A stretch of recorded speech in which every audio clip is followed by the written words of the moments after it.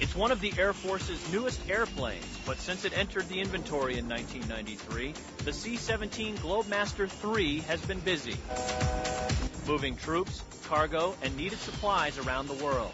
The C-17 was designed with the ability to rapidly project and sustain an effective combat force close to the potential battle area.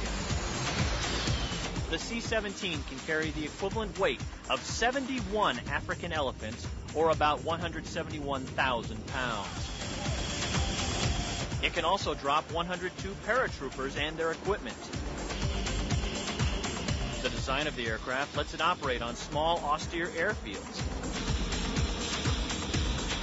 The C-17 Globemaster III is the future of Air Force airlift